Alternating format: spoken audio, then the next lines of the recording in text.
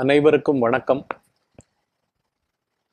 பதினெட்டு ஜூலை சனிக்கிழமை மாலை ஏழு மணி யூடியூப் மற்றும் ஃபேஸ்புக் நேரலை இருபத்தஞ்சாவது சத்சங் சத்சங்கம் உள்ளது நாற்பது அனுபந்தம்.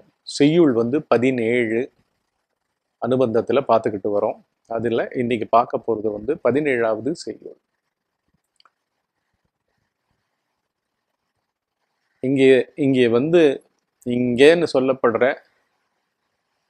மனிதனாக வலம் வந்து கொண்டிருப்பது ஒரு போலி உயிர். எண்ணம்ன்றதுக்கு ஒரு நம்மளுக்குள்ள எங்கேயோ ஒரு பொது பொதுமனத்தோட கனெக்ஷன் கொடுக்கப்பட்ட ஒரு சுவிட்ச் கனெக்ஷன் போல ஒரு மொபைலில் வந்து ரீசார்ஜ் பண்ணப்பட்ட ஒரு மொபைலை நம்ம வச்சுக்கிட்டு உலகமெல்லாம் சுத்துறது போல தனியாக உலகத்தில் இருக்கிற மீதி எழுநூத்தி நாற்பது நாற்பத்தொம்போது கோடி மக்கள்கிட்ட தொடர்பு கொள்ளுகின்றார் போல இருக்கின்ற அந்த மொபைல் போல இங்கே தனித்த உயிரானது ஒவ்வொரு ஜென்மமுமே ஒரு புது மொபைல் அந்த பிராண்டட் செல் அந்த மொபைல் ஃபோன் ஸ்மார்ட் ஃபோன் தான். சிம் கார்டு எஸ்டி கார்டு இதெல்லாம் பூர்வ வாசனைகள். தேக லோக சாஸ்திர வாசனைகள் மயமாக இருக்கும். தன்னுடைய உண்மை இருப்பு இவைகளே கிடையாது என்ற தெரியாத அறியாமை. இந்த அறியாமை தான் நம்முடைய போலி உயிர். பௌதீக உயிரே அதுதாங்க. தனியா வந்து நம்ம இந்த உலகத்துல நல்லது பண்ண தெரியாம இருக்க வேண்டாம். கெட்டதுல போய் மாட்டிக்கிறதா இருக்க வேண்டாம். இரட்டை உணர்ச்சிகளை தனியா மாட்டிக்கிட்டு அனுபவிக்கிறதெல்லாம் அப்புறம். ஃபஸ்ட்டு இந்த மாதிரியான ஒரு தோன்றியுள்ள எண்ணமயமான உணர்ச்சி மயமாக இருக்கும் ஒரு பொருள் வந்து இதுக்கு மூலம் வந்து இங்கே எப்படிரா இருக்கும்? இந்த உடம்புக்குள்ள எப்படிரா வந்து நாலு வயசு மூணு வயசு அஞ்சு வயசுலேருந்து திங்க் பண்ண ஆரம்பித்தோம்? தனியாக நம்ம பேரை சொல்லிக்கிட்டோம். நம்ம உடம்ப கூட நம்ம ஐடென்டிஃபை பண்ணிக்கிட்டு நம்ம ஆண் மகன்றதும் பெண் மகள்ன்றதும் இப்படியெல்லாம் இந்த உடம்போடைய எது மூலமாக வெளியில் வந்தோமோ எல்லாம் போ போலிகள். போலிகளா இருக்கிறதுனால தான் மறைப்பாவே இருக்கு. They are veiling as they are clouding as ஒரு போர்வை மரப்பு போர்வை ஒரு தெரை போட்டிருக்கு. எண்ணமே தர உணர்ச்சியே தர. அதனால இங்க எதை பண்ணாலும் பண்ணாம இருந்தாலும் அடிப்படையில தான் யாருன்றத நம்ம தெரியாம இருக்கிறதே வந்து நம்மளுக்கு வந்து அந்த அனுகிரகம் இல்லை. அறியாமே மண்டி கிடக்கு. அதனுடைய வேகம் பவர்ஃபுல்லா இருக்கு. அதனால யோசனைகள்ல மாட்டிக்கிட்டே அழியணும். புத்திசாலித்தனம் சொல்லிட்டு என்னவோ இந்த உலகத்துல ஆல்ரெடி காம்படிஷன் ஓடிக்கிட்டே இருக்கு இங்க. எல்லாரும் விவரம் தெரியாம காம்படிஷன்ல இருக்காங்க. நம்மளும் ஜம்ப் பண்றோம் அதுல. குதிக்கிறோம். Eligible eligible boy eligible bachelor eligible இவன் புரியுதா? Father eligible mother spinster unmarried girl அப்படின்ட்டு என்னென்னவோ வகைறால இந்த மாதிரிலாம் உடம்ப வச்சு அடையாளப்படுத்திக்கிட்டு ஒரு பிராண்ட் நேம் போல ஒரு புது மொபைல் ஃபோன் மேல அதுக்கு கொடுக்கப்பட்டிருக்கிற எஸ்டி கார்டு சிம் கார்டு இதுதான் இங்க.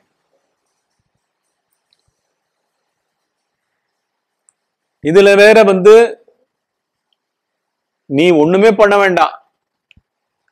ஏன்னா உன்னுடைய உன்னுடைய மூலம் வந்து இதுவே இல்லை. உன்னுடைய அஞ்சு கோஷங்களே கிடையாது. ஐந்து மறைப்புகளே கிடையாது. உணர்ச்சிகளே கிடையாது. எண்ண ஓட்டங்களே கிடையாது. உன் பெயர் கிடையாது. உன் வடிவம் கிடையாது. உன்னுடைய திறமைகள் அருமை பெருமைகள் படிப்பு திறமைகள் என்னென்னவோ பணம் புகழ் பெருமை இங்கேயே இல்லை. இதை வச்சுக்கிட்டு வந்து இந்த உலகத்தை மெய்யாக்கிறதுக்கு ஒருவன் கிளம்பி கொண்டே இருக்கின்றான். ஏன்னா அவன் இங்க சிக்கிக்கிட்டவன்?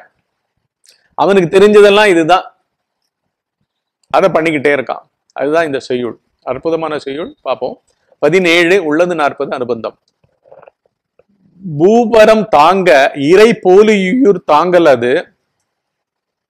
பூபரம் தாங்க இறை போலி உயிர் தாங்கல் அது.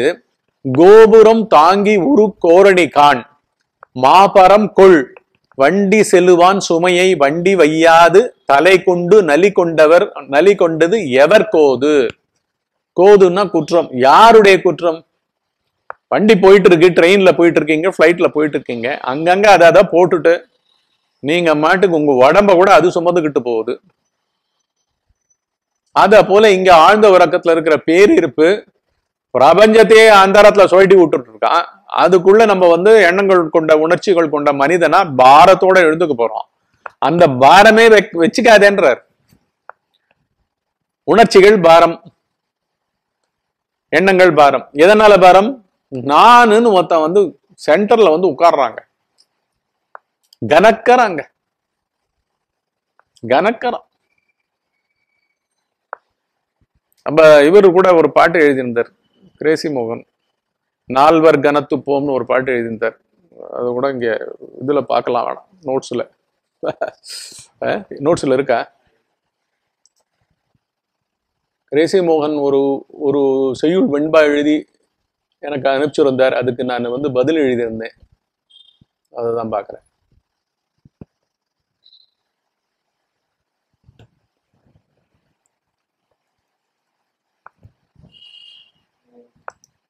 திடீர்னு ஞாபகம் வந்தது. ஆ. மோகன் அவர்கள் நாற்பது எழுதி அனுப்பிச்சிருந்தார் இல்லைங்களா? அதுல எக்ஸாக்டா பொருந்துற பாட்டு இது. நால்வர் பொறுப்பேற்று நாமே தலைமுதல் கால் வரை தூக்கி கணக்கின்றோம் மால்வினை தேடல் விசாரத்தில் கூடி கழிக்கும் முன் ஊடல் உணர்வே உடல். அப்படின்னு ஒரு ஒரு வெண்பா எழுதியிருந்தார் அவர். நால்வர் பொறுப்பேற்று நாமே தலை முதல் கால் வரை தூக்கி கணக்கின்றோம். நால்வர் பொறுப்பேற்றுனா என்ன? கடைசி கடைசி ஊர்வலம். மயான ஊர்வலத்தில் நால்வர் பொறுப்பேற்று பண்ண வேண்டிய பாரத்தை இந்த நான் வந்து தன்னுடைய உடலை நானாக நினைத்து கொண்டு உள்ளுக்குள்ள கற்பனைகளை எண்ண ஓட்டங்களை உணர்ச்சிகளை எல்லாம் தூக்கி வைத்துக்கொண்டு பொறு- பொறுப்பேற்றவன் போல செய்பவன் போல வாழ்க்கையை வாழுபவன் போல இப்படியெல்லாம் கணக்கிறோம் கண்டபடி கனத்து வெயிட்டா இருக்கும். மால்வினை தேடல் விசாரத்தில் கூடி கழிக்கும் முன் ஊடல் உணர்வே ஊடல்.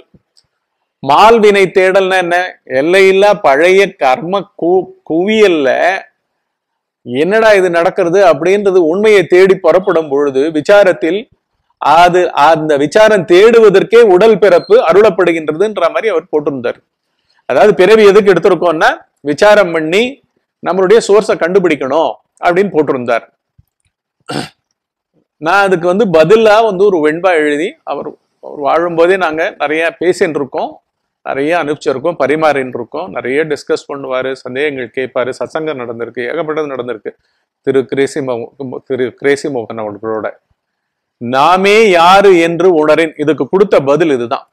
நாமே யார் என்று உணரின் நால்வர் தாம் இல்லாது போம். நான் மூத்தனே இருக்க மாட்டான். நாமே யார் என்று உணர்வதுன்னா என்ன அர்த்தம்? எண்ணத்துக்குள்ளே ஆள் இல்லை. உணர்ச்சிக்குள்ள ஆள் இல்ல. நீ ஏன் கோவப்படுற? அதே மாதிரி சந்தோஷமா இருக்கிறதுக்கு கூட நீ வந்து அருகதை கொண்டாட முடியாது. யாருக்கு வந்ததுன்னு பார்த்தா உள்ள ஆள் இல்லையப்பா. ஒரு செகண்ட் முன்னாடி அந்த உணர்ச்சி இல்லையே. இப்ப உணர்ச்சி வசப்பட்டிருக்கியே. ஒரே சந்தோஷமா இருக்கேன். திடீர்னு அப்செட் ஆயிடுறேன். திடீர்னு எரிஞ்சு விழுறேன். திடீர்னு பொறுப்பேத்துக்கிட்டு ஒரே உதவி பண்ணுறேன்னு கிளம்புற சேவை பண்ணுறேன்னு கிளம்புற க்ஷணத்துக்கு ஒரு மூடு என்னென்னவோ நடந்துக்கிட்டு இருக்கேன் அதை தான் நான் சொல்கிறேன் நாமே யார் என்று உணரின் நால்வர் தாம் இல்லாது போம். தாமே தாம் ஆகாசம் போல் கனமற்று போம். தாமே தாம். தானான பொருள் எப்படி ஆகாசத்தை யாராவது தாங்குறாங்களா? ஆனா ஆகாசத்துல சகல காட்சிகளும் இடம்பெற்றிருக்கு. எப்பேற்பட்ட நட்சத்திரங்கள் மோதி கொண்டிருக்கின்றன அணுக்கள் உற்பத்தி ஆகி கொண்டிருக்கின்றன விசைகள் செயல் செயல்பட்டு கொண்டிருக்கின்றன பார்த்தீங்கன்னா ஆகாசத்தை விட பொறுப்பு சுமக்கிறவங்க யாருமே இல்லை. ஏன்னா அது அகாமடேட்டிங் பிரின்சிபிளே ஆதிபூதம் எது? ஆகாசம். நாமே யார் என்று உணரின் நால்வர் தாம் இல்லாது போவோம் நாலு பேரா? ஒத்தனே இல்லப்பா.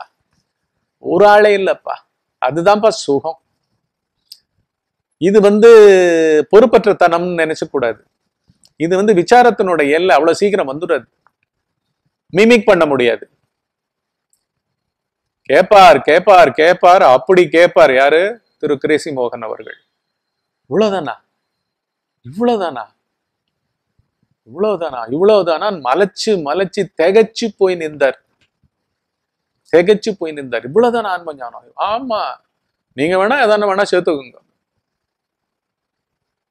சேத்துண்டது விடுறது தான் ரொம்ப கஷ்டம். எண்ணமா இருக்கிறது தான் நீங்க ஆன்ம ஞானம் என்னதுன்னு தெரிஞ்சுட்டீங்கன்னா எண்ணுவதுதான் கஷ்டம்னு சொல்லுவேன். யோசனையே பண்ண முடியாது. தேவையில்லை. ஏன்னா யோசனை பண்ணுபவன் இல்லைன்னு தெரிஞ்சு போயிடும். நாமே யார் என்று உணரின் நால்வதாம் இல்லாது போம் தாமே தாம் ஆகாசம் போல் கனமற்று போகும். நம்மளுடைய உண்மையான இருப்பு என்ன? ஆழ்ந்த வர்க்கத்துல ஆகாசமா பூமியா உடம்பா பிறந்தவனா?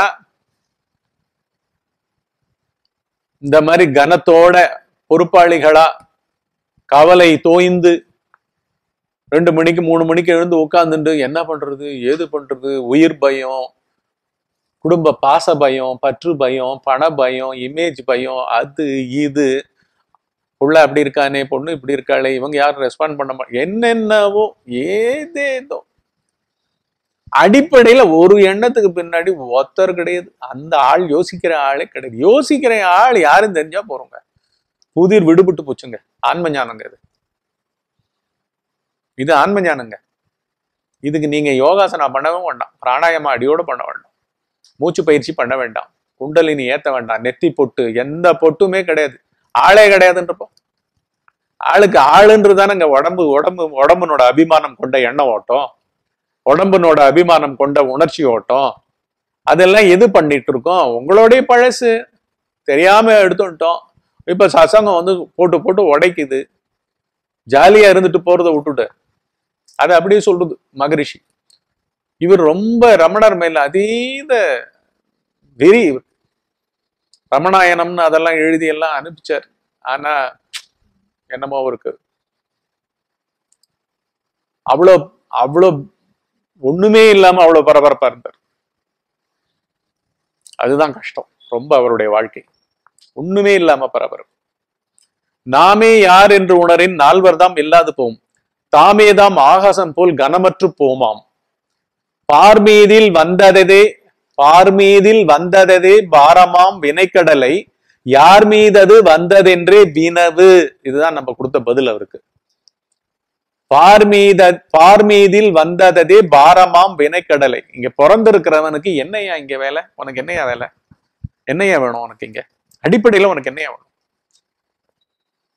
அடிப்படையில உனக்கு தெரிய வேண்டியது ஒண்ணு இருக்கு. யாரு? யாரு நீ? உள்ளுக்குள்ள ரத்த ஓட்டத்துல ரத்த ஓட்டத்தை பெருசா பொருட்படுத்திக்கிட்டு பயந்துக்கிட்டு உணர்ற பாதைக்கு வந்தாலே தெரிஞ்சிடும் இதெல்லாம் சும்மா கீ கொடுத்த பொம்மைன்னு தெரியும். மூச்சு வரைக்கும் ப்ரிசைஸா வினை வினைகள் வச்சுக்கிட்டு இருக்கு. ஒரு க்ஷணம் வந்து கடைசி க்ஷணம் சொல்லிட்டு அந்த உடம்புல திங்கர் இல்லாத மாதிரி இருக்கும் அது மத்தவங்களுக்கு தான் இல்லாம இருக்கும். ஆனா என்ன ஏதுன்னு விவரமே இவன் சேகரிச்சு வைக்காதனால இவன் அதை கண்டுதான் அஞ்சுன்னு இருக்கான் வாழும் பொழுது கிட்டத்தட்ட ஆக்சுவலா the dying is dying is painless the real death when it is happening it is painless but the fear about that one who is frightened about dying one who fears death is frightening is killing the person moment person moment தெரியுமா? உண்மையில் இறப்பது வந்து painless பிரச்சனை. பெயினே கிடையாது. அது உடம்பு சம்பந்தது கூட கிடையாது. டப்புன்னு ஆஃப் ஆக போறது. எது ஆஃப் ஆக போறது? அந்த உடம்புல இருக்கிற சைக்கலாஜிக்கல் கனெக்ஷன் கட் ஆக போகுது அவ்வளவுதான். உங்க சுவிட்சு சுவிட்ச் போர்டு நீங்க கொடுத்துருக்கிற பல்பு கொடுத்துருக்கிற கனெக்ஷன் உங்க கேட்ஜெட்ஸ்க்கு எல்லாம் கொடுத்துருக்கிற கனெக்ஷன் எல்லாம் பர்ஃபெக்டா இருக்கு. அங்க மெயின்ல பவர் ஆஃப் பண்ணிட்டான். எங்க கிரிட்லயே ஆஃப் பண்ணிட்டான். ஹோல் சென்னை சிட்டிக்கே ஆஃப் பண்ணிட்டான். இங்க எப்படி வரும்? இங்க நல்லா தான் இருக்கு. இங்க உடம்பு கூட நல்லா இருக்கு. ஆனா வினைகளாக தேக லோக சாஸ்திர வாசனைகளாக பார்மீதில் வந்ததே பாரமாம் வினைக்கடல். அது சுவிட்ச் ஆஃப் பண்ணிக்குது. ஏன்னா அது ரொம்ப பரபரப்பா இருக்கு. நம்ம அந்த பரபரப்பை இங்க பிறந்து கூட்டிக்கிட்டே இருக்கோம். நம்மளுடைய வாழ்க்கை இங்க என்னங்க? விவரமே இல்லை. யாருக்கும் விவரமே இல்லை. இது என்னையா இது ரத்த ஓட்டம் ஓடிக்கிட்டு இருக்கு? மூச்சு போயிட்டு வந்துகிட்டு இருக்கு. இதுல இதை வச்சுக்கிட்டே வேற நான் ஆன்மீகம் பண்றேன். மூச்சுலயே நான் ஆன்மீகம் பண்றேன். உடம்புக்குள்ள ஆறு ஆதார சக்கரங்கள் எல்லாம் படைச்சு படைச்சு அழிச்சுக்கிட்டு உட்காந்துக்கிட்டு இருக்கேன். நெத்திக்குள்ள ஒளிய பாக்குறேன் வெளியில தான் சூரிய ஒளி இருக்க. அத்தை வெடியா நீ உள்ள பார்த்துட்டு போற. என்ன ஏதுன்னு இவனை பத்தி விவரம் தெரியாதனால உலகத்தினுடைய ஜட விஷயங்கள் எல்லாம் சேர்த்து இவனுடைய ஆன்மீகமா வேற இங்க சொல்லி கொடுத்துக்கிட்டு இருக்காங்க. ஆனா உண்மையில் நம்மளுக்கு லோட் லோடா வந்து நம்மள வந்து பாரமா கனத்தை சுமக்க வைக்கிறது இது நான் பாவம்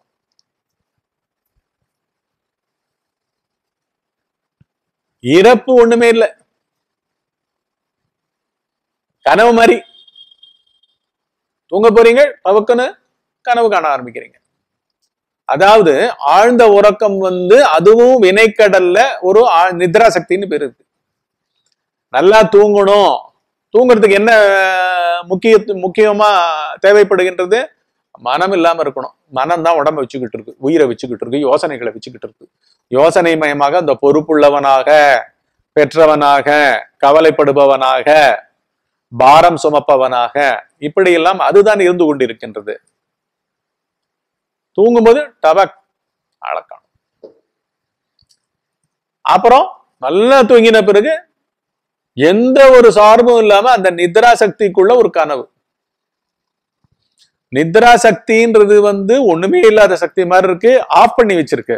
ஆஃப் பண்ண இடத்துக்கே இவ்வளவு சக்தி இருக்குன்னா இந்த விழிப்பு நிலை கூத்தா நடக்குது பாத்தீங்களா? நம்மளுடைய எண்ணமே அங்க காட்சியா தெரியுது. நம்மளுடைய எண்ணமே அங்க ஒளிமயமான சுட்டறிவு பொருள்களாக சத்தங்களாக ஓசைகளாக வாக்குவாதங்களாக கலைகளாக எல்லாமாகவும் சுட்டறிவு படிப்புகளாக எல்லா இருக்கிற சத்தங்கள் அனைத்தும் நம்மளுடைய எண்ண ஓட்டங்கள் நம்மளுடைய உணர்ச்சி ஓட்டங்கள். அது அங்க மெட்டீரியலைஸ் ஆகிக்கிட்டே இருக்கு. எதுக்கு மெட்டீரியலைஸ் ஆகுது? நீ கேக்குறியாப்பா? நீ அதுகிட்ட உண்மையை கற்பிச்சிட்டியே. வெளியிலேந்து வர ஒரு ஒலியில நீ உன்னுடைய உண்மையை கற்பிச்சிட்டிய. நீ நீ உனக்கு உண்மை இருக்கா மாதிரி நீ வச்சுக்கிட்டியே. நீ ஏன் உண்மை இல்லைன்றது நீ ஆராயில்லையே நீ உண்மை இல்லப்பா at the outside you don't exist at all there is no you in you there is no I in you இது தெரியலன்னா என்ன? ஹெவி பாரம் வெயிட் வலிக்குது. எப்ப பாரு வலிக்குது. எழுந்துக்கவே பிடிக்கல. இதுல இது தெரியாதனாலேயே சதா உயிர் பயம் இறப்பு பயம். இறப்பு ஜஸ்ட் லைக் த தூக்கம் மாதிரி படுப்பது. நித்ரா சக்தி எப்படி கனவு உற்பத்தி பண்றதோ அதே மாதிரி இங்க திடீர்னு வந்து சைக்காலஜி இந்த உடம்புல இருக்காது அவ்வளவுதான். தூக்கம் மாதிரி போயிருப்பார். செத்தது கூட தெரியாது நிறைய பேருக்கு. ஏதானும் தெரியணும்னா தெரியப்படுத்துற ஊடகம் நம்ம எதை வச்சுக்கிட்டு இருக்கோம் நம்மளா? நம்மளுக்கு எது மூலமா நம்ம தெரிஞ்சுக்கிறோம்? கேட்டல் மூலமா தெரிஞ்சுக்கிறோம். படித்தல் மூலமா தெரிஞ்சுக்கிறோம். அனுபவித்தல் மூலமா தெரிஞ்சுக்கிறோம். பேசுதல் மூலமா தெரிஞ்சுக்கிறோம். காணுதல் என்ன? இதெல்லாம் தானே. அஞ்சு புலந்தொழில்கள் மனத்துல சிந்தித்தல்கள். அட அதுவே வந்து ஒரு ஜடப்பொருள் that which you use as your medium of existence your instrument of existence through which you transact, you live in this world, that itself is at the outside don't exist, it doesn't exist. இல்லப்பா அதுதான் சொல்றோம் நாமே யார் என்று உணரின் நால்வர் தாம் இல்லாது போம் தாமே தாம் ஆகாசம் போல் கனமற்று போம் தாமே தாம் ஆகாசம் போல் கனமற்று போம். பார்மீதில் வந்ததே பாரமாம் வினைக்கடலை வினைக்கடலை கடலைன்னா வேர்க்கடல் அல்ல வினைக்கடல் வினைக்கடலை யார் மீது அது வந்ததென்றே வினவு யார் மீது அது வந்தது எவன் மேல வந்திருக்கு? எவன் எண்ணுகின்றான்? இதுதானே இன்ஸ்ட்ருமெண்ட் ஆஃப் லிவிங் இதுதானே life what is life for a human being he thinks his thoughts are his life அதுதான் உணர்ச்சி. அதுதான் ஆன்சியஸ் அதுதான் பதபதப்பு. அதுதான் டென்ஷன் ஸ்ட்ரெஸ் பாரம். என்ன test has be solved it is இன்சால்வபிள்னு தெரியாது. ஏன்னா அது இல்லப்பா. அது இல்லை. நிழல் யுத்தம் பண்ணிட்டு இருக்கேன் don't even ever try at all because எல்லா முயற்சிகளும் பெஸ்ட் அதுவும் ஆன்மீகத்துக்கு விழிப்பு நிலையில பண்ற முயற்சி மாதிரி காமெடி எதுவுமே இல்லை. அந்த காமெடி பண்ணவே பட்டுடாது. யார் மீதது வந்ததென்றே வினவு.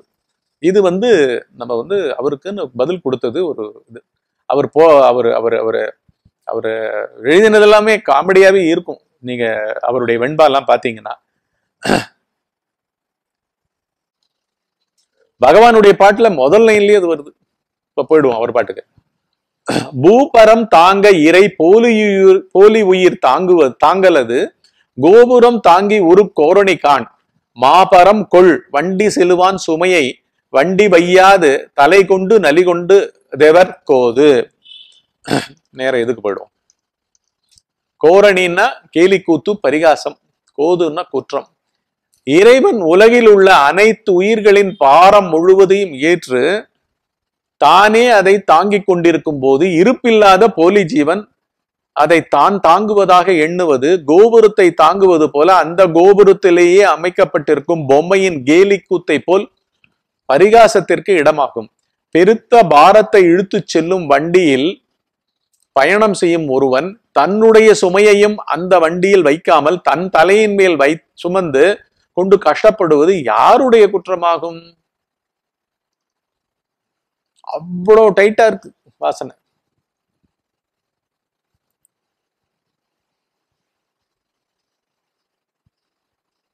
என்ன சொல்லுவோம்? நாயை பார்த்தா என்ன சொல்லுவோம்? நாய்க்கு நிக்கிறதுக்கு நாழி இல்லை பண்றதுக்கு வேலை என்ன ரொம்ப பிஸியா ஓடிக்கிட்டே இருக்கும்.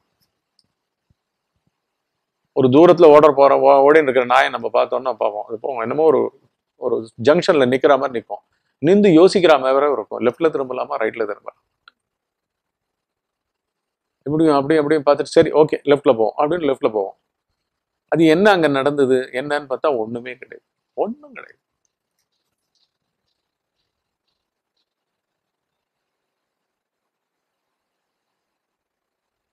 நம்ம புத்தி எப்படி இருக்கு? ஏன் பிஸியா இருக்கும்?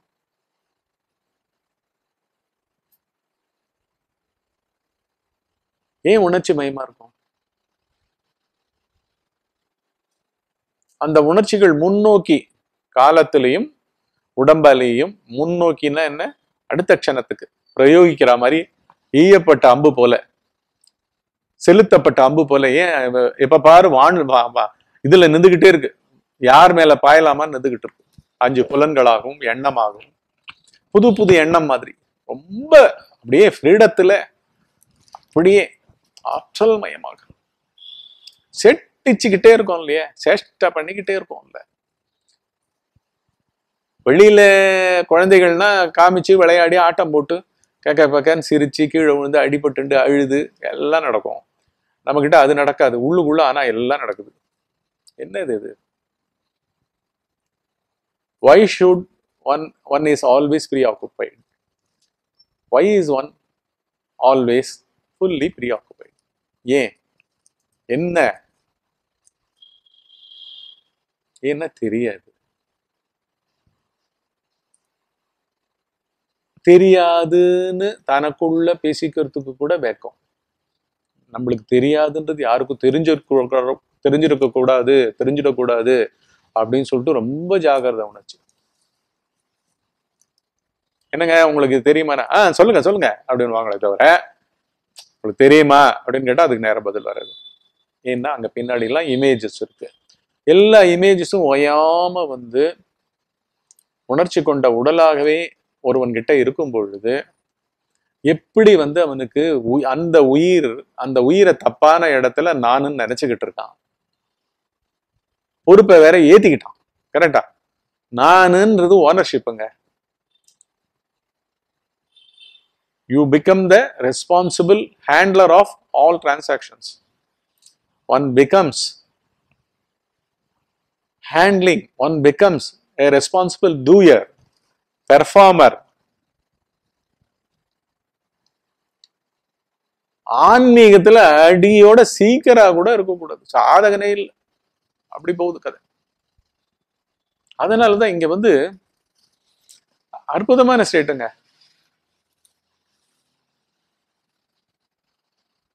லார்ட் ஒரு பெரிய மகா ஞானி இருந்தார். லார்ட் சூ அப்படின்னுட்டு. எல்ஏஓ T Z U lord Tao Te Ching T A O T E C H I N G அப்படின்னு ஒரு ஒரு ஐ ஐயா ஐநூ ஐயாயிரம் வேர்ட்ஸ் வச்சு ஒரு தத்துவத்தை அப்படியே கொடுத்துட்டு போனார். அவர் சொல்லுவார் all around me are intelligent I am the only idiot here அப்படின்னு சுத்தி வர பார்க்குறேன் எல்லாம் பயங்கர புத்திசாலிங்க. நான் தான் ஒரு ராட்டன் இடியட் அங்க என்ன சொல்றாரு? அப்சல்யூட்டா ஆன்ம பொருளாவே இருக்காரு அவர். ஆன்ம பொருளாவே இருக்காரு. வேண்டாம்ப்பா.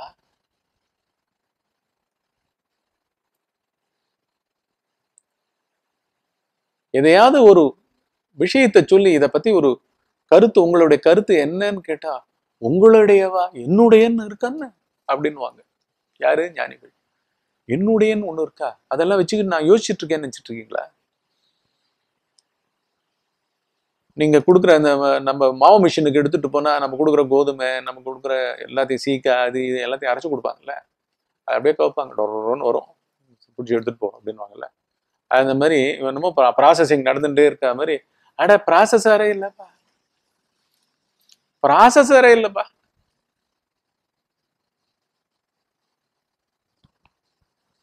ஒரு குடும்பத்துல பிறந்துட்டேன்னா ஆம்பளையாவோ பொம்பளையாவோ பிறக்க போறேன். என்னமோ கதாபாத்திரம் வரப்போகுது. பணம் இருக்கு இல்லை. ஆரோக்கியம் இருக்கு இல்லை. உறவுகள் நல்லா இருக்காங்க இல்லை. ஆனா நீ ஞானமயமா தெரிஞ்சு போச்சு உனக்கு விஷயம். அடாடா இங்க வந்து யோசனை பண்ணக்கூடாதுடா. யோசனை எல்லாம் உடம்புக்குள்ள எந்த ரத்த ஓட்டத்துல எந்த எந்த அணுக்களும் நானுன்னு சொல்லிக்கிட்டு நம்ம பேரை சொல்லிக்கிட்டு இங்க வந்து யோசனை பண்ணிட்டு உட்காந்துடலப்பா தீர்வு கண்டே தீர வேண்டும் இந்த பிரச்சனைக்கு அப்படின்லாம் அது எதுவும் கிளம்புறது இல்லப்பா எதுவுமே இல்லப்பா. அப்படின்ற விஷயம் தெரிஞ்சு போச்சுன்னா உங்களை யார் என்ன பண்ண முடியும்? இவ்வளவுதான் ஆன்ம ஞானம் யார் என்னங்க பண்ண அண்ணனோ தம்பியோ அப்பாவோ பெரியப்பாவோ சித்தப்பாவோ ஃப்ரெண்டோ பக்கத்து வீட்டுக்காரனோ எதிரியோ நண்பனோ உங்களுக்கு எண்ணமே இல்லைன்னா எண்ணத்துக்கு பின்னாடி உணர்ச்சி கொண்ட ஆளே இல்லைன்னா உங்களுக்கு காமெடியை தவிர வேற ஒண்ணுமே தெரியாது இல்ல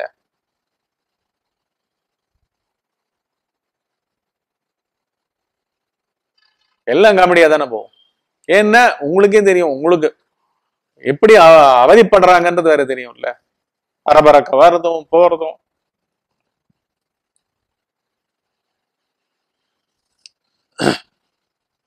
சாதகன் உடல் உள்பட தன் பொறுப்பை எல்லாம் தான் ஏற்பதை விட்டுவிட்டு எல்லா பாரமும் உன்னுடையது என்று இறைவனிடம் ஒப்படைத்து விட்டு தான் சாந்தமாய் சாதனையில் ஈடுபட வேண்டும் என்பதுதான் என்பது இந்த பாடலின் கருத்து. சாந்தமாய் சாதனை. சாதனையே என்ன? சாதமா இருக்கிறது. சா- நினைக்காம இருக்கிறதே சாதனை.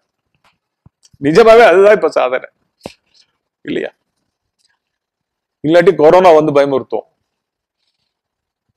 பயமுறுத்தி வீட்டுக்குள்ள உட்காருக்கும் எல்லாம் வெளில இருந்து எல்லாம் வரட்டுவாங்க. வெளில வந்து என்ன பாருங்க.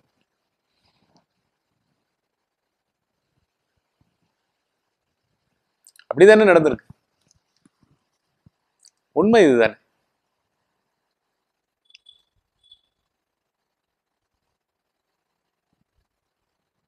இந்த மீடியேட்டுக்கு அதாவது இந்த மீடியம் எது? திங்கிங் மீடியம் மனம்.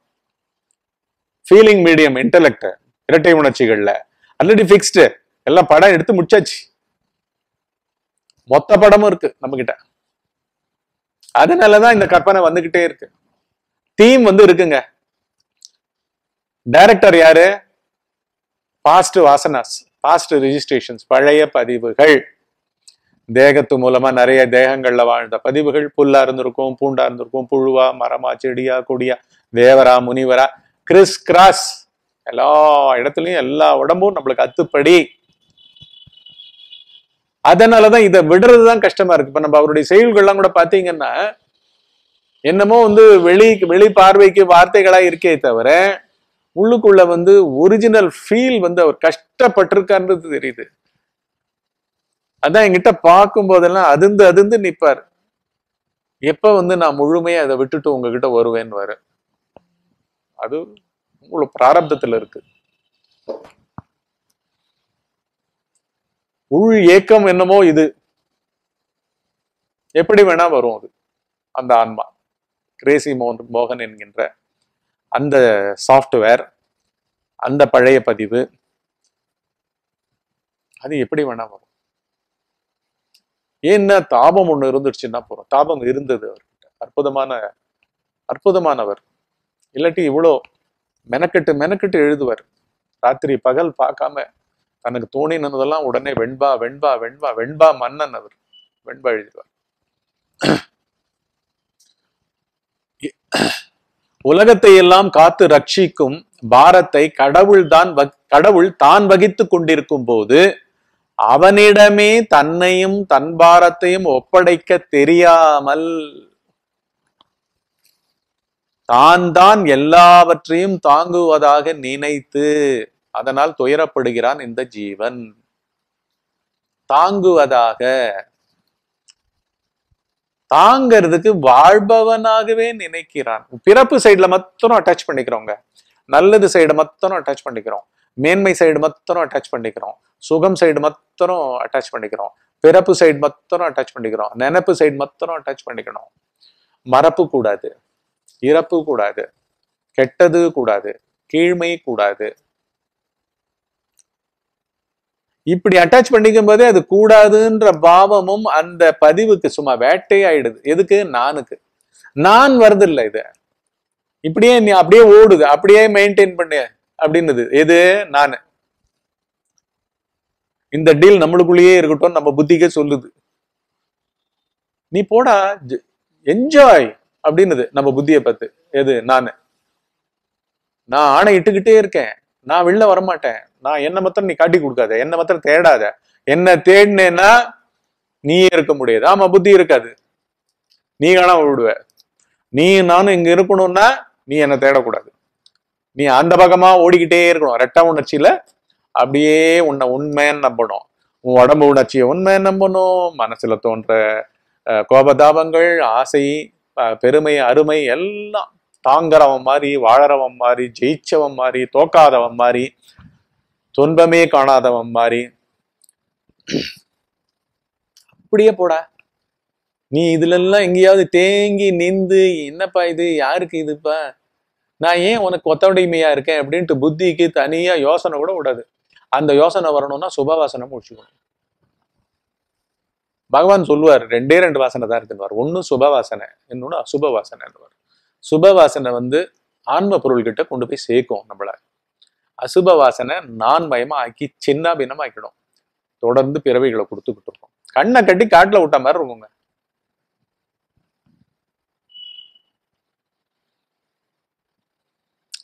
வாழுபவனாக நினைக்கும் போதே நம்ம அவுட் ஆயிடுறோம். தாங்கியே ஆகணும்.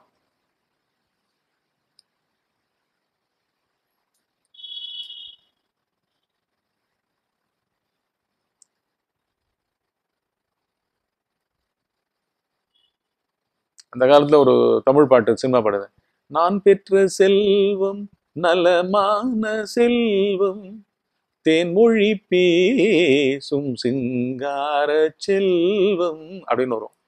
இது நான் பெற்ற செல்வம் என்ன? வாசனை குப்பை.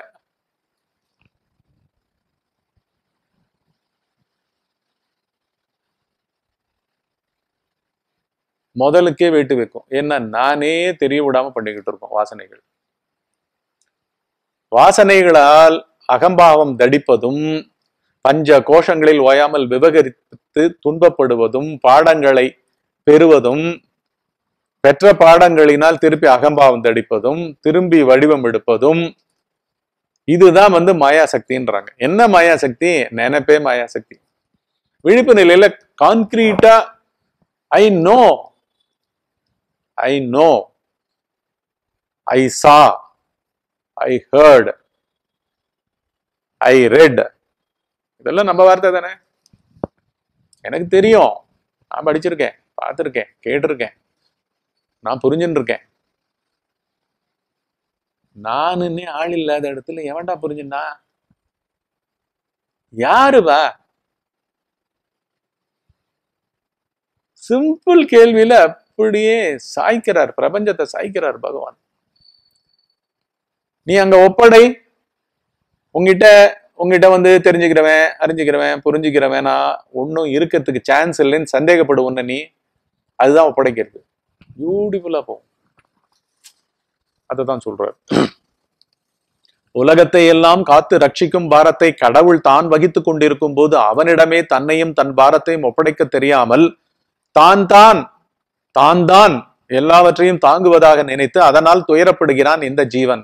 அது மட்டுமல்ல உலகத்தின் துயரை துடைக்க வேண்டும் அதை சீர்திருத்து தூக்கி நிறுத்த வேண்டும் என்றெல்லாம் எண்ணி அதற்கான செயலில் ஈடுபட்டு தோல்வி அடைந்து நிலை குலைந்து நிற்கிறான். இதைத்தான் கோபுரம் தாங்கி உருக்கோரணிகான் என்று பகவான் விளக்குகிறார். கோபுரத்தை தான் தாங்குவது போலவும் அந்த கோபுரத்தின் பாரம் தாங்க முடியாமல் நலிவுற்றதை போலவும் சித்தரித்திருக்கும் கோபுரம் தாங்கி பொம்மையை போல ஜீவனும் போலியானவன் என்கிறான். அப்படி தூக்கிட்டு இருக்க மாதிரி இப்படி இருக்கும். ஒரு குட்டி அரக்கன் மாதிரி நல்ல மீசை கீசெல்லாம் வச்சு. அந்த இந்த சிவகணம் போல அப்படியே தோல் அப்படியே தூக்கிட்டு இருக்கோம். அப்படியே லிஃப்ட் பண்ணி. தோல்லையே அப்படியே போய் வச்சிருப்பாங்க அந்த கன்ஸ்ட்ரக்ஷனே கோபுரத்தை. அது தூக்கிட்டு இருக்க மாதிரி இருக்கும். அது வேற குழந்திருக்கும் வேற. என்ன பாழ்பட்ட கோபுரமா இருக்கும். அது தூக்கியே இது என்னமோ புகழ்பட்ட மாதிரி இருக்கும்.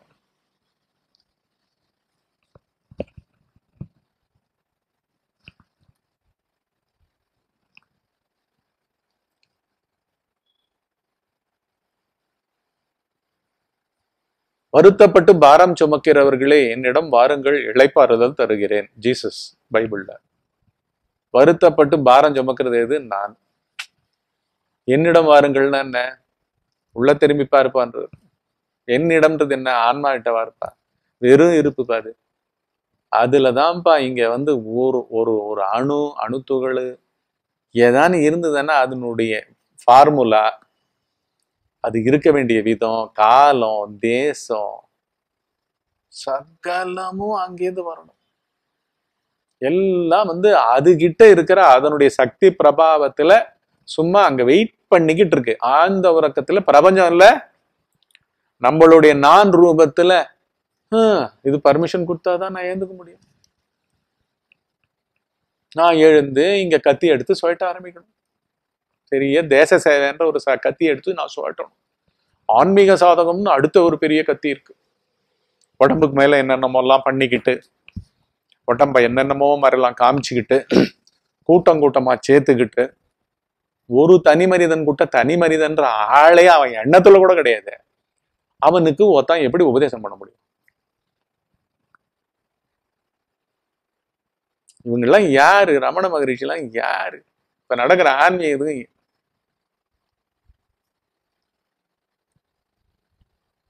நேரடியாக சாடுகின்றார்ல அவர். பகவான் சாடுகின்றார்ல என்ன கட்டுறன்றார்.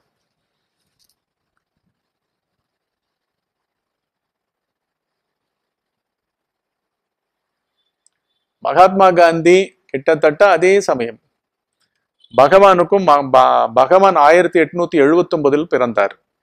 மகாத்மா காந்தி ஆயிரத்தி எட்நூத்தி அறுபத்தி ஒன்பது அக்டோபர் இரண்டாம் தேதி பிறந்தார். பத்து வருடம் அவர் சீனியர்.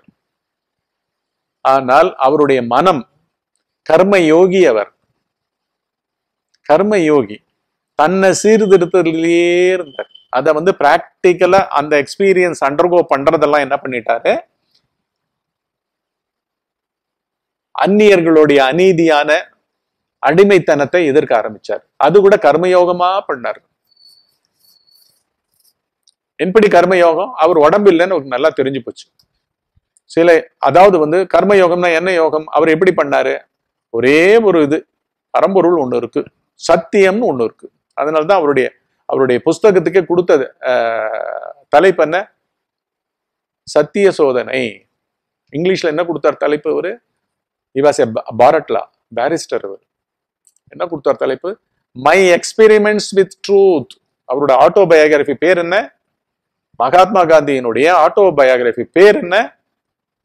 அவர் ட்ரூத்தோட பண்ண சோதனைகளாம் பரிசோதனைகளாம். My experiments with truth that is that was what his life was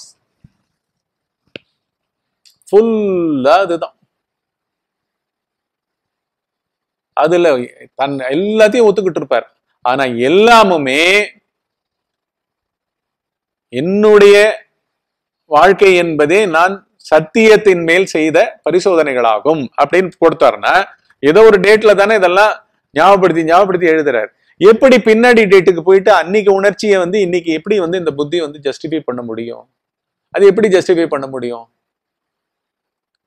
காத்தால உங்க வீட்டுல பண்ண சமையலுக்கு நீங்க எப்படி பண்ணீங்க? ரொம்ப நல்லா இருந்தது. கொஞ்சம் சொல்லுங்கன்னாலே உங்களுக்கு எப்படி தடுமாறிடுவீங்கல்ல? ஆமாங்க ஆமாங்க. நல்லா இருந்ததா? நல்லா இருந்ததான்னு ஃபர்ஸ்ட் அந்த பெருமையில திளைப்போம். இல்லைங்க அது ரெசிபி எனக்கு சொல்லுங்க. ரெசிபி எனக்கு அது அது அதுன்னுவோமே தவிர இவர் வந்து ஃபுல்லா எழுதியிருக்காரு. அன்னைக்கு நான் வந்து சின்ன வயசுல எங்க அப்பா அம்மாவுக்கு தெரியாம ஃப்ரெண்ட்ஸோட போயிட்டு ஆடை வெட்டி ஒரு காட்டுக்கு போய் பக்கத்துல உட்காந்து சாப்பிட்டோம். ராத்திரி எல்லாம் தூங்க விடாம அப்படியே வாய்த்துக்குள்ளேருந்து இருந்து மே மே மேன்னு ஆடு கத்திக்கிட்டு இருக்கு. அன்னிலேருந்து சபதம் எடுத்தேன். இனிமே இந்த துன்பத்தை என்னால தாங்க முடியலடா. அந்த ஆடு வந்து கெஞ்சுது என்ன. ஏண்டா இப்படி சாப்பிட்டுட்டு படுத்துட்டு இருக்கியேடா என்னை வெட்டி. பயங்கர சென்சிட்டிவா இருந்திருக்காரு. இதெல்லாம் சத்திய மை எக்ஸ்பெரிமெண்ட்ஸ் வித் ட்ரூத் சத்திய சோதனை தமிழ் அதுக்கு தலைப்பு. அப்படியே சத்தியத்தை ஓயாம கூறு போட்டு பாக்குறது அதாவது மூன்று லெவல்ல நினைப்புல பேசுதல்ல செய்தல்ல. முன்னாடியே போய் என்ன பண்ணிடுவாரு? கிளீனா சொல்லிடுவாரு. நாளைக்கு காத்தால நீங்க போட்ட சட்டத்தை நாங்க எதிர்க்க போறேன். அவங்க இருந்து சட்டம் வந்ததுன்னு அவங்க சொல்லுவாங்க. பிரிட்டன்ல இருந்து மகாராணி ஒரு சட்டம் போடுவாங்க. இந்த ரோட்ல யாரும் நடக்கக்கூடாது இந்தியர்கள். தென்னாப்பிரிக்கால சவுத் ஆப்பிரிக்கால. அப்படின்னு சொன்னா இவர் என்ன பண்ணுவார்? ரபக் முதல் நாளே பகிரங்கமா எழுதுவார். எங்க? ஒரு நியூஸ் பேப்பர்ல எழுதுவார். நாளைக்கு நீங்க இந்த ரோட்ல நுழையக்கூடாதுன்றீங்க. நாங்க அனைத்து இந்தியர்களும் கிட்டத்தட்ட ஒரு ஆயிரம் பேர் திரண்டு இருக்கும் காலங்காத்தால் இதுதான் வேலை எங்களுக்கு. நீங்க எந்த தெருவுக்குள்ள நுழையக்கூடாதுன்னு சொன்னீங்களோ அந்த தெருவுக்குள்ள நுழைவோம். அவங்களுக்கு மண்டை பிச்சுக்கும். என்னடா இது? நம்மளுக்குன்னு இந்த ஆள் வரான் போல்? ஏன்னா எல்லாம் ரெடி பண்ணணும்ல. கவர்மெண்ட் ஆர்டர் ஆச்சு. அவங்க நாடு இல்ல. அப்படி இல்ல நடத்திட்டு இருக்காங்க இன்னொரு நாட்டை. அங்க என்ன ஆவாரு? தெருவுக்குள்ள நுழையும் போதே அடி அடின்னு அடிப்பாங்க. எல்லாத்துக்கும் அடங்கணும்னு ஏன்னா இவர் சத்தியத்தோட சோதனை பண்ணிக்கிட்டு இருக்காரு. சத்தியாகிரகம் பண்ணிட்டு இருக்காரு. சத்தியத்தை அனுசரிப்பதுக்கு உடம்பு துன்புறட்டம். நம்மளுடைய கொள்கைகள் வந்து தகர்த்தெறியப்படட்டும். நம்மளுடைய நம்பிக்கைகள் பறிக்கப்படட்டும் அழிக்கப்படட்டும். ஆனாலும் நம்ம வந்து அதுக்கு விட்டு கொடுக்க மாட்டோம். நீ பண்றதை நீ பண்ணு. உனக்கு அது சரி. எனக்கு இதுதான் சரி. என்ன பண்ணுவ? ஜெயில. அதுதானே எனக்கும் வேணும் அப்படின்னு வருவார். ஜட்ஜே எழுந்து நிற்பார் இதே தினம். ஏன்? எப்படியோ தெரிஞ்சு போச்சு அவருக்கு. என்ன தெரிஞ்சு போச்சு? ஆள் இல்லடா இங்க. உள்ளுக்குள்ள ஆள் இல்லடா. இல்லாட்டி இப்படி கத்தியின்றி ரத்தமின்றி இப்பேற்பட்ட தேசத்துக்கு எப்படி விடுதலை வாங்க முடியும்? இந்த மாதிரி சரித்திரத்தில் நடந்ததே இல்லையே. இந்த மாதிரி ஒரு மனுஷன் எலும்பு தலை ர- எலும்பு சதை ரத்தம் நரம்போட உலவினான்றத ஃபியூச்சர் ஜெனரேஷன் படிச்சதுனாலே ஆச்சரியப்படும். இந்த பூமியில இப்படி ஒருத்தன் வாழ்ந்திருக்கானா? அப்படின்ட்டு யாரு? அவருடைய அசாசினேஷன் நடந்தப்போ அன்னைக்கு Winston Churchill British prime minister அவர் கொடுக்குறாரு அந்த கோட்டு. இந்த மாதிரி ஒரு தேகம் கொண்ட ஒரு மனிதன் இப்படியெல்லாம் கூட வாழ்ந்திருக்காருன்னா இப்படியெல்லாம் கூட அரசியல்ல புரட்சி பண்ணியிருக்கான். புரட்சி எல்லாம் பண்ணல. அவருக்கு ஒரே நம்பிக்கை ஆள் இல்லை. ஆள் இல்லைன்னா என்னங்க வரும்? மேல அடிக்கிற அடி அடி அடிக்கிற நீ ஆண்மை கிடையாது. உங்ககிட்ட காமிக்கப்படுறது ஆண்மை ஆண்மை கிடையாது. வாங்குறவங்கிட்ட தான் ஆண்மை. ஏன்னா நான் விசாரம் பண்ணிட்டேன். எனக்குள்ள ஆள் கிடையாது. எனக்குள்ள இனிமே அவமானப்படுறதுக்கு ஒண்ணுமே கிடையாது. கிரேட்டஸ்ட் அவமானம் என் கண்ட்ரியில என் இடத்துல வந்து உட்காந்துட்டு என்ன என் தெருவுக்குள்ள போக கூடாதுன்னு நீ சொல்ற பாரு அதுதான் அவமானம். கரெக்டா இருக்கு பாருங்க. இது வந்து கரெக்டா பாக்குற பெர்ஸ்பெக்டிவ் அங்க கூட எப்படி பண்ண முடிஞ்சது? விடிகாத்தால ரெண்டு மணிக்கு எழுந்துட்டுருவாருங்க கிட்டத்தட்ட பதினெட்டு மணி நேரம் வேலை பண்ணுவாருங்க. மொத்தம் எழுபத்தெட்டு எழுபத்தொன்பது வருஷம் வாழ்ந்தாரு. அதுல இருபத்தி ரெண்டு வருஷம் ஜெயில இருந்திருக்காரு. யாருக்கு அவசரம் அப்படி கிடைச்ச சுதந்திரம் ஸோ இப்படியெல்லாம் நடந்திருக்கு. எல்லாமுமே வந்து ஒரு பொருள் இருக்கு. ஒரு பொருள் இருக்கு நான் இல்லை. அதனால அகந்தைய எல்லா லெவல்லையும் அடக்கிக்கணும். அவன் பிரிட்டிஷ்காரன் வந்து நம்மளை உதச்சானா கூட வாங்கிக்கோ. நம்ம அவனுடைய அவன் போட்ட லாவுக்கு நம்ம தான் கரெக்டா அடி பண்ணிடுறோம். அவனே அடி பண்ணிடலன்றதை அவனுக்கு எடுத்து காமி. அப்படின்னு எல்லாரையும் சொல்லி எடுத்துக்கிட்டு போவார். சோ இந்த மாதிரியான எல்லா பெரிய பெரிய ஆற்றல்கள் கொண்டது வந்து இந்த இந்த பாதை. அதுல பகவான் என்ன சொல்றாரு? சாதகனே சொல்றாரு. சாந்தத்தை நோக்கி தானே போறேன். அதனுடைய சொரூபமே சாந்தம் தான் நீ ஒண்ணுமே பண்ண யோசிக்கவே வேண்டாம். ஃபர்ஸ்ட் யோசிப்பு லெவல்லே ஆரம்பிச்சிருன்றார் பகவான். சூக்குமமா அது போடுற காயினை அப்படியே பிளே பண்ணு. ஆன்ம பொருள் எப்படி இருக்கு? ஸ்டில்னஸ் உனக்கு என்ன வந்து நீ ஏன் பரபர பரபரன்னு யோசிச்சுட்டு இருக்க. அவங்களுக்கு என்ன பண்றது? இவங்களுக்கு என்ன பண்றது? நம்ம என்ன பண்ணுவோம்? ஃப்ளைட்ல போனாலும் சரி ட்ரெயின்ல போனாலும் சரி எங்க போனோம் உடனே லேப்டாப் வச்சு என்ன? பா பா பா. எங்கேயாவது லூஸ் விட்டா நம்மள மறந்துடுவாங்களோ?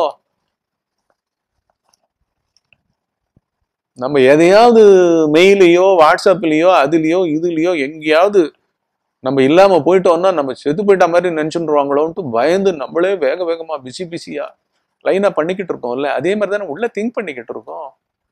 பொறுப்புகளை சுமப்பவர்களாக வாழ்பவர்களாக நினைப்பதற்கே அங்க கோபுரம் தாங்கி பொம்மைக்கு பொம்மைப்பா அது? பொம்மைப்பா?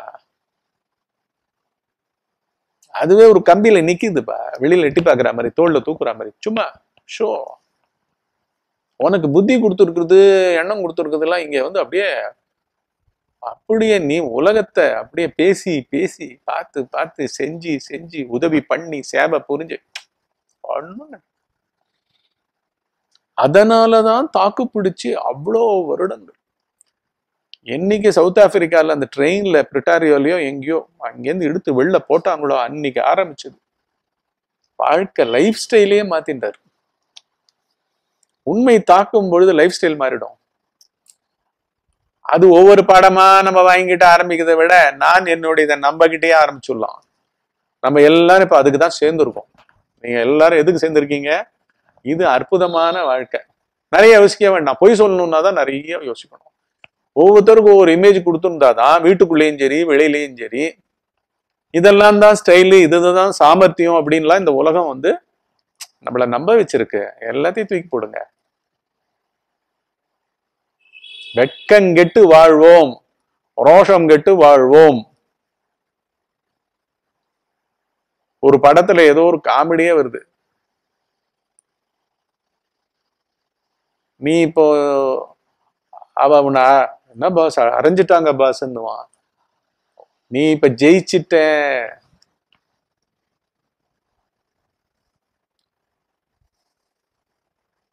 நீ இனிமே எந்த செருப்புலையும் அடி வாங்குறதுக்கு ரெடி ஆயிட்ட? You are now a shameless fellow ஆக்சுவலாக வந்து ஷேம்லெஸ்னஸ் இல்லை. தன் இந்த உயிரை போலி உயிர். செய்யுளுடைய முதல் லைன் பார்த்தீங்கன்னா அப்படிதான் வரும். போலி உயிர். என்ன? அகந்தையினுடைய உயிர். அகந்தை போலி. பூவரம் தாங்க இறை போலி உயிர் தாங்கலது. போலி உயிர் தாங்கலது. சரிங்களா? போயிடுவோம். தனக்கு இயல்பாக உள்ள குடும்ப பாரம் தேக பாரம் முதலான யாவற்றையும் இறைவனிடம் நம்பிக்கையுடன் ஒப்படைத்துவிட்டு தான் கவலையற்று இருந்தால்தான் மனம் ஒருமுகப்படும் மனம் ஒருமுகப்பட படுறதுக்குன்னு கூட பண்ண வேண்டாம். இது வந்து இறைவனை பார்க்கறதுக்கு அதுக்கு இதுக்கு எதுவுமே கிடையாது. நேச்சுரலாவே நம்மளுடைய சத்தியம் சொரூபம் எப்படி? எண்ணங்களை சாராதது தனியான இரட்டை உணர்ச்சிகளை சாராதது ஆழ்ந்த உறக்கம் இவ்வளவே. அது எப்படி இருக்கோ அப்படிதான். அங்க இல்ல இல்ல இங்கேயும் கிடையாது. இங்க வந்தா கூட நிறுத்திடுவேன் நான். பேரிகேட் போட்டு நிறுத்திடுவேன். ஏன்னா அங்க ஒரு இவன் இருப்பான். சென்ட்ரியை போட்டுருவேன். திங்கிங் நடந்துதான் என்ன வேணும் உனக்கு? இவ்வளவு யோசனையா இருக்கு. உணர்ச்சி மேம்பதான் என்ன வேணும் உனக்கு? பொத்து போறோம். இல்லப்பா இதெல்லாம் தெரிஞ்சுக்கிட்டா நல்லது தானே யாருக்கு நல்லது? எல்லா நல்லது பண்ணாலும் சரி புண்ணியம் பண்ணாலும் சரி அதெல்லாம் கூட இங்க கழிச்சாதான் முடியும். ஏன்னா சாஃப்ட்வேர்ல எல்லாம் ரெக்கார்ட் ஆயிட்டு இருக்கு பழைய பதிவா. நானுனுடைய நல்ல புண்ணிய வாசனைகள் சுப இந்த வாசனைகள் சேவை செஞ்ச வாசனைகள் புண்ணிய கர்மங்கள் எல்லாத்துக்கும் அக்கவுண்ட் வந்து அதுக்கு மூலமா கடனை கழிக்கணும். புண்ணிய கர்மாவையும் கழிக்கணும். மனம் ஒருமுகப்படவில்லை என்றால் இறைவனிடம் பக்தி செய்யவோ அல்லது ஆத்ம விசாரம் செய்யவோ மனம் தெளிவு பெறாது. சித்த தெளிவுன்றது வந்து சகஜமாகவே நான் வந்து தன்முனைப்பு அற்று இருந்ததுன்னா அது நிகழ்ந்து கொண்டே இருக்குங்க. தன்முனைப்புன்னு பேருங்க. சதா வந்து எதையோ நம்ம நம்ம நம்ம நம்ம நம்ம நம்ம நம்ம to do to become to show to get to see to finish to decide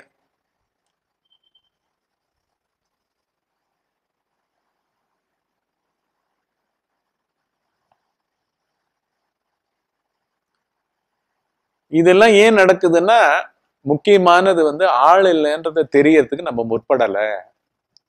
ஆள் இல்லைன்னு தெரியறது வந்து ஒரே இடத்துல தான் தெரியும். யார் சொல்லுவாங்க?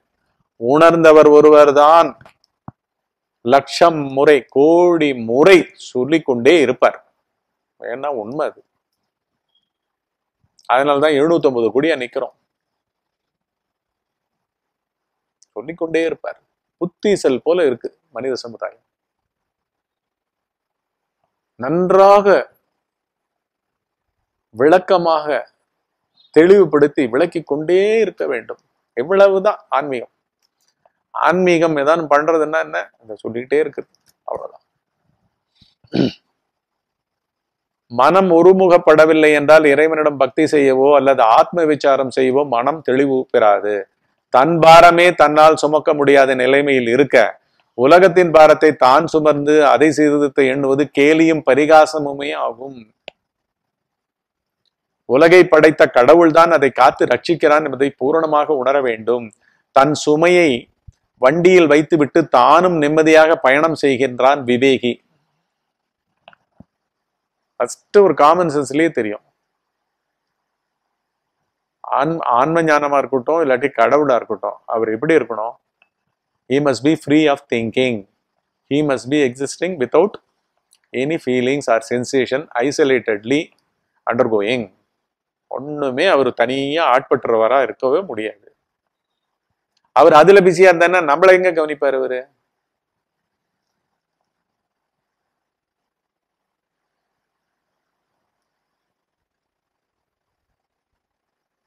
ஆன்ம ஞானமோ யோகாபியாசமோ அதுக்கு நீ ஒரு ஆசிரமம் செட்டப் பண்ணி தனிமைப்படுத்தி ஒரு அமைப்பை ஆக்கினேன்னா உன்னோட தான் ஆக்கினேன்னா அங்க எப்படி இறைவன் இருப்பாரு? உன்னோட புத்திக்கு இதெல்லாம் தோணி இருக்குன்னா அந்த புத்தி வந்து தப்பு தப்பா தானே பார்த்துருக்குன்னு அர்த்தம்? நீயே ஒதுங்கி இருக்கேன்னு அர்த்தம் புத்தியில. ஒரு பத்து பேட்டர்ன் பத்து ஒரு பத்து ஸ்லோகம் பத்து டெக்னிக்கு அப்படின்னு எல்லாம் போட்டு ஒரு பிராண்ட் எல்லாம் போட்டு வாலண்டியர்ஸ் எல்லாம் செட் பண்ணி கோடி கோடி பேர் இருக்காங்க அப்படி இருக்காங்க இப்படி கோடி எல்லாம் இப்ப என்ன ஆச்சு உங்ககிட்ட சப்ஜெக்டே உருப்படியான சப்ஜெக்டே இல்லையே. ஒரு மனிதனை கம்ப்ளீட்டா பிரிச்சு காமிச்சு அவனுடைய நான் என்ன அவனுடைய எண்ணம் என்ன அவனுடைய புத்தி என்ன அவன் யாரு அவன் எங்க அவனுடைய வாழ்வுன்றது நடக்கிறதுன்றத காமிச்சா that is equal to seven fifty crores people முன்னாடி இருந்தவங்க இப்ப இருக்கிறவங்க இனிமே வரப்போறவங்க எல்லாத்துக்கும் இலக்கணம் படைக்கப்பட்டு இருக்கு இதை விட்டுட்டு நீ என்ன தனியா உட்காந்துக்கிட்டு ஒவ்வொருத்தருக்கும் என்னமோ தனியா கஸ்டமைஸ் பண்ணி புது மொபைல் கொடுத்துக்கிட்டே இருக்க? இது உனக்கு கொடுத்துருக்கிற மருந்து அப்படின்ட்டு இந்த டாக்டர்ஸ்லாம் அப்படிதான் கொடுப்பாங்க.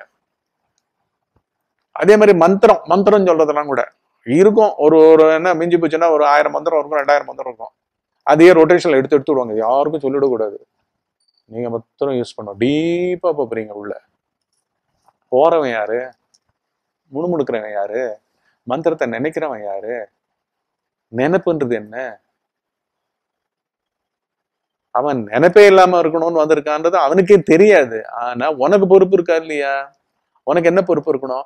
மொத்தமா அவன் சயின்ஸை பிரிச்சு கொடுத்துடணும். ஒளிவு மறைவே கூடாது. அவன் என்னையா உனக்கு கடம்பட்டான் அவனுக்கு தனியா கத்து கொடுக்குற மாதிரி அவனை போட்டு இப்படி டார்ச்சர் பண்ணிட்டு இருக்க.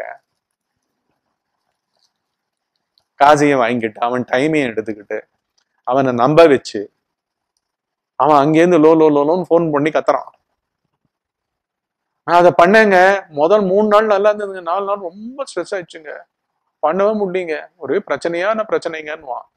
இருங்க இருங்க இருங்க. நான் கொஞ்சம் பிஸியா இருக்கேன். கொஞ்ச நேரம் கழிச்சு கால் பண்ணேன் கொஞ்ச நேரம் அவ்வளவுதான். காலை காணும். அவர் இன்னும் நூறு பேரை கவனிச்சுக்கிட்டு இருக்காரு. அங்க இருபதாயிரம் ஐம்பதாயிரம் நூறாயிரம் ஒரு லட்சம் ரெண்டு லட்சம் அதை வாங்குறத பாக்குறதா இவருக்கு போய் பதில் சொல்லிட்டு இருக்கா உடனே ஒரு வாலண்டியரை போட்டு வந்து நீ கவனிச்சுக்க போ. அவருக்கு சொல்லு. அவ்வளோ கதை. கதை கந்தல். இவர் என்ன அடைஞ்சாரு? இது விழிப்பு நிலை பணக்கூத்து கேலி கூத்து இல்ல? ஏதோ யூட்டிலிட்டிக்கு வேணும் அப்படியே இறைவனையே நம்ம வச்சு நீ அப்படியே ஆசிரமத்துல வச்சு பண்ற மாதிரி. என்ன என்ன நடக்குது?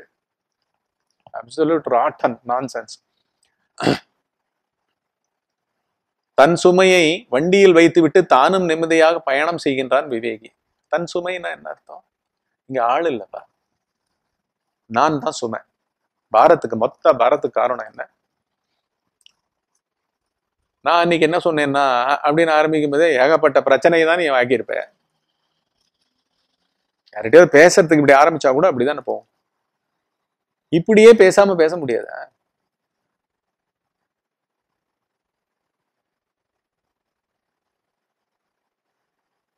ஞானிகளுக்கு நல்லா தெரியும்.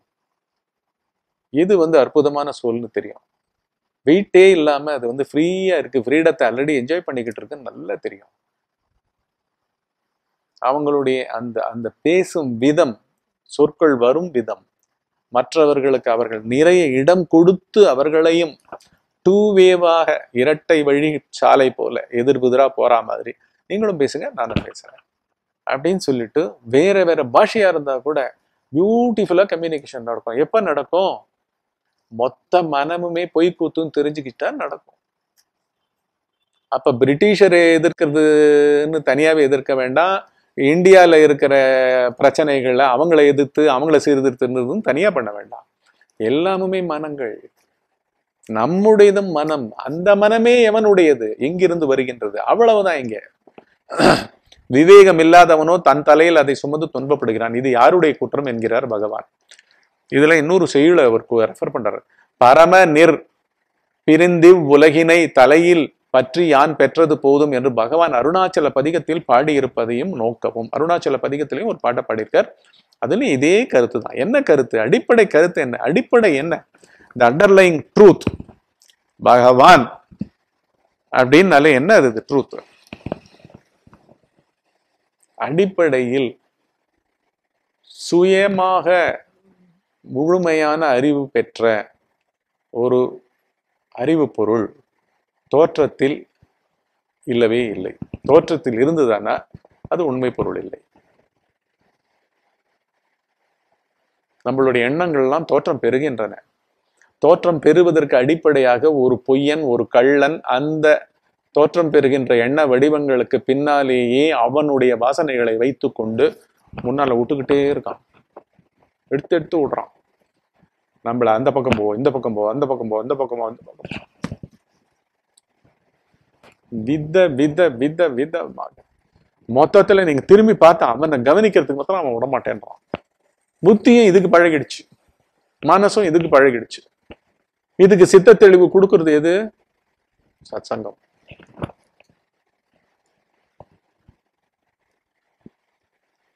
இப்ப இதை கேட்டீங்களா? அடுத்து கண்ணமடி உட்காருறீங்களா? அதிர அதிர அந்த உண்மை அந்த சாரம் நிறைய ஸ்பேஸை காமிக்கும். அந்த ஸ்பேஸ் எல்லாம் சத்தியம். உள்ள மாத்திரம் எண்ணமற்று ஸ்பேஸ் இருந்ததுன்னா அது ஆன்ம பொருளே. இருப்பு பொருளே. இது கோபுரம் தாங்கும் பொம்மை. இது எண்ணங்கள் உணர்ச்சிகள். அவைகள் நான்பாவங்களினால் சுழட்டி விடப்படுகிறது. தனிமை அதில் இருக்கின்றது. அந்த மாதிரி தனிமையான ஒரு அறிவு கொண்ட நம்ம உடம்புக்குள்ள உயிரே இல்லை. அது போலி உயிர்னே சொல்றாரு செய்யுள்ள. அதனால இது தோன்றியுள்ளது போ போலி தோன்றியுள்ள போலி தோற்றமெல்லாம் போலிகள் பொய்கள் சகலமும். ஆகாசத்துலேருந்துங்க தனித்தனியா நீங்க கன்ஃபியூஷனே பண்ணிக்க வேண்டாம். சத்சங்கம் ஃபாஸ்ட் ஃபுட்டு இமிடியட் ஃபுட்டு கேட்குறீங்களா கேட்டுக்கிட்டே இருங்க. டப்பு டப்பு டப்புன்னு அஞ்சு நிமிஷம் உட்காருங்க பத்து நிமிஷம் உட்காருங்க. எப்போ வேணா கேளுங்க எப்போ வேணா உட்காருங்க. ஜாலியோ ஜாலி.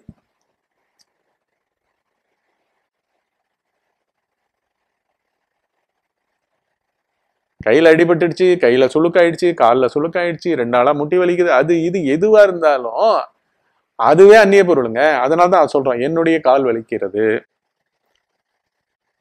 அப்படின்னா நீ கால் கிடையாது. கரெக்ட் என்னுடைய கை வலிக்கிறது நீ கை கிடையாது. நீன்றது யாரு? நீன்றது யாரு? எண்ணமா? அதை சொல்லிட்டு இருக்கிற எண்ணமா? அது கூட இப்போ இப்பதான் இந்த எண்ணம் வந்தது. இதுக்கு முன்னாடி வேற எண்ணம் என்னமோ யோசிச்சுட்டு இருந்தது நானு. ஸோ பின்னாடி இருக்கிறது எல்லாத்துக்கு பின்னாடியும் உணர்ச்சிக்கு பின்னாடியும் எண்ணத்துக்கு பின்னாடியும் கைவலிக்கு பின்னாடியும் உயிர் போகிறதுக்கு பின்னாடியும் உயிராக இருப்பதுமே ஆகந்த. எவ்வளோ பியூட்டி பாருங்களேன். பியூட்டியோ பியூட்டிங்க பார்த்துட்டு நேரம் அனுபவிக்கிறதே நம்மளுடைய டுவெண்ட்டி ஃபோர் பை செவன் வாழ்க்கை. அதை உங்களுக்கு உங்களோடையே ஷேர் பண்ணிக்கிட்டு சொல்லிக்கிட்டே இருக்கிறத தவிர நம்மளுக்கு வந்து வேற ஒன்றும் கிடையாது. நம்ம அனுபவிச்சுக்கிட்டு இருக்கோம். உங்களுக்கும் பத்திக்கும். கண்டிப்பாக பத்திக்கும். இப்போவே வந்து உடனே தொடர்ந்து ஆரம்பியுங்கள். நானும் உங்களுடன் முடிந்த வரையில் ஒரு பத்து நிமிடங்களாவது ஐந்து நிமிடங்களாவது இருக்கிறேன். இந்த வி- சும்மா இருக்கிற விசார தியானம். விச்சாரம் போவே கூடாது. பார்வை வந்து உள்ள இந்த கண்ணு மூடிடும். உள்ள வேற வேற ஒரு பார்வை. அது எண்ணுபவனோட பார்வையோ புத்தியோட பார்வையோ அதுக்கு முன்னாடி எது ஆட்டம் போட்டாலும் வேஸ்ட் அப்படின்றத மாத்திரம் அவனை அப்படியே பொத்த வைங்க. போப்பா கிளம்புப்பா. ஆள் இல்லாத இடத்துல என்ன யோகா பண்ண சொல்ற நீ? போ. இது பேர் ஆன்மீகமும் இல்லை நாத்திகமும் இல்லை. எனக்கு என்ன பண்றேன்னே தெரியல. ஆனாலும் தெளிவு இருக்கு. அவ்வளவுதான் போறேன் எனக்கு. அப்படின்னு தைரியமாக ஆட்படுங்கள். ஓகேவா? ஆரம்பிச்சிருங்க. நம்ம வந்து இத்தோட நாளை மாலை ஏழு மணிக்கு அனுபந்தத்துல சந்திப்போம்.